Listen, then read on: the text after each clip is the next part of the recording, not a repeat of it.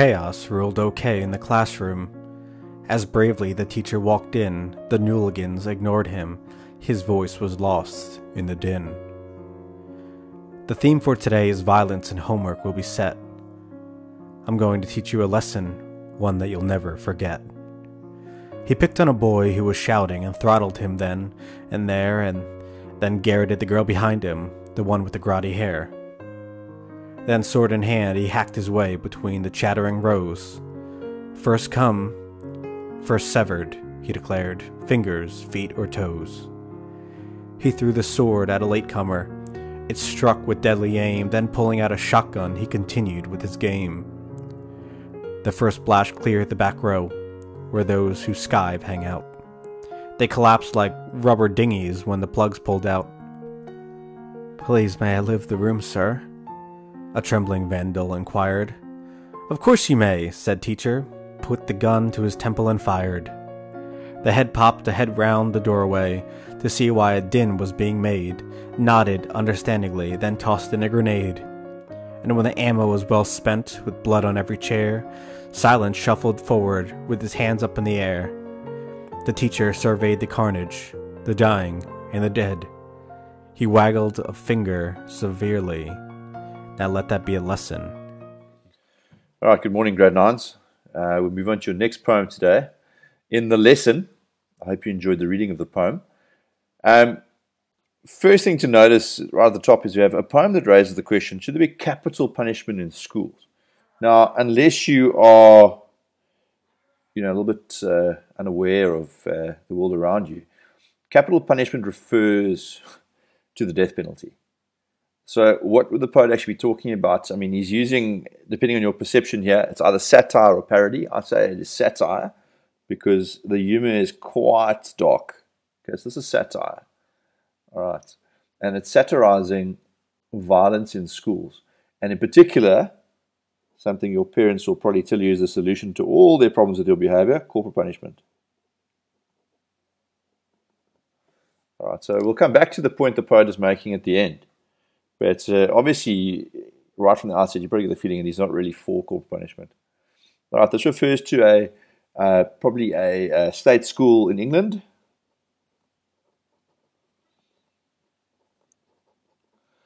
And the probably in the 1960s. The poet did come from Liverpool as well, which is a fairly poor city at the time. And there were people were, were quite worried about social um, decay at the time how society was going backwards and they were fearful that the whole world would collapse because people, kids were misbehaving. All right. Chaos ruled okay in the classroom. Now, this ruled okay used to be a slang term. You saw it everywhere. It was sort of like um, the, the, the slogan that, that guys that uh, uh, sort of like write graffiti used to use. Right. So chaos is in charge. It is a loud, noisy classroom. As bravely the teacher walked in. Now, there's a bit of irony there as well bravely, isn't the teacher supposed to be in charge of the classroom? So you could ask yourself right here, um, what's wrong with the teacher?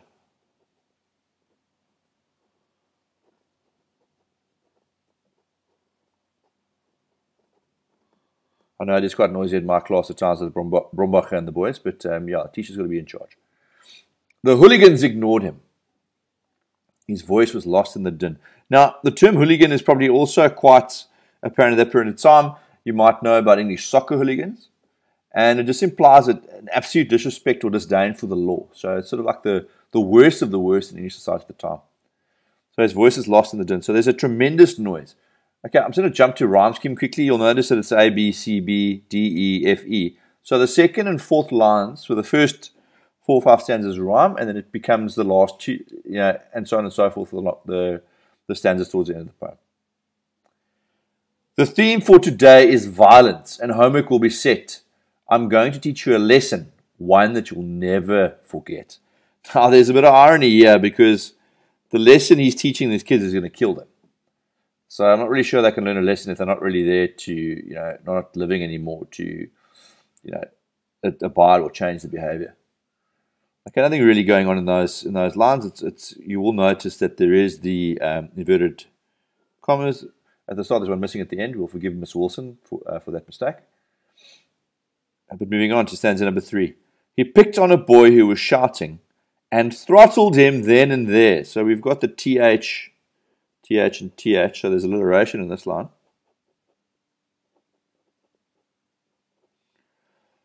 Then garroted the girl behind him, the one with the grotty hair. So garrot, so we've got the G and the G. Again, alliteration. Now, garroting, for those of you that don't know, is strangling somebody with something like a piece of wire that's quite sharp. Often, garroting results in almost like cutting someone's head off. So, it's a very, very violent way to deal with a girl who um, is angry with her because her hair's grotty. You it implies that her hair is dirty. okay, so a couple of words we probably need to check out. Um, we have throttled, so that would be strangling someone from the front. Then garroted, so she's got her back turned to the teacher, perhaps and he strangled her with a piece of wire. Okay, and why is he strangled her with a piece of wire? Because her hair is dirty. It's a little bit excessive, you might say. All right.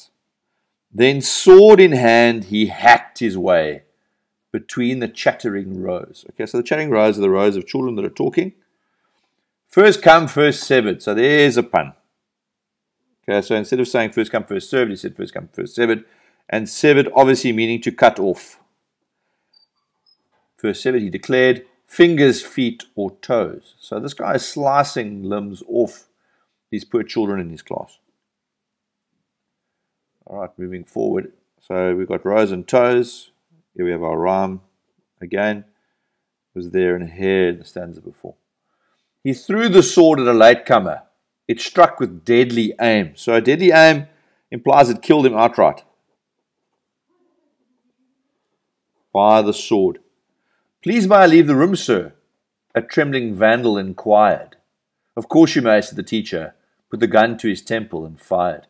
So leaving the room here becomes a bit of euphemism for death.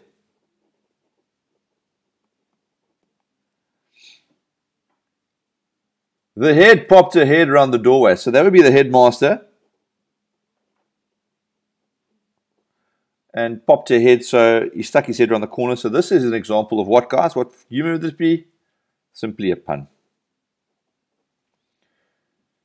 Popped his head around the doorway to see why a din was being made, nodded understandingly, then tossed in a grenade. So you find the headmaster's in agreement.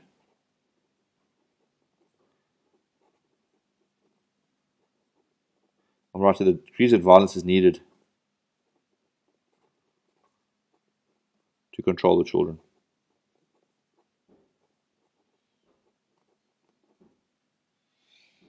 Mm-hmm. And when the ammo was well spent, so ammo would be short for ammunition, with blood on every chair, silence shuffled forward with its hands up in the air. Okay, so silence sh- shuffling forward here would be personification. And what's the, meaning of this, uh, this uh, oral device? Is that the surviving children have now decided to keep quiet for the sake of maintaining their lives. The teacher surveyed the carnage, the dying and the dead. So carnage would be, you know, bits of blood and flesh, you know, the sort of what whatever's left after a battle. Underline carnage there. The dying and the dead. He waggled, waggled a finger severely. Now let that be a lesson, he said. So this ends in a bit of an anticlimax. But I think the poet's made his point. I think uh, if you if you're looking for a for a message here throughout the poem, is that violence is not acceptable in schools. Okay. So I feel that that's a it's not the hardest um, hardest poem. I've left out there there is one example of assonance in this poem. I'm going to leave that for you guys to find, and we can discuss it in the next feedback session. But yeah, not not very much going on here. This is quite amusing, but quite dark. So I'm going to write dark here next to the lesson. There's a fairly dark poem. Um, we decided it's satire, not parody, because of the dark nature of it. Um, and the entire point is how of the poem is how corporal punishment is unnecessary in schools. Just remember, capital punishment is a death penalty.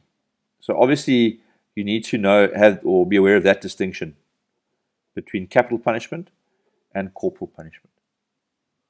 All right, so I'll just uh, slowly go up here through the through the poem.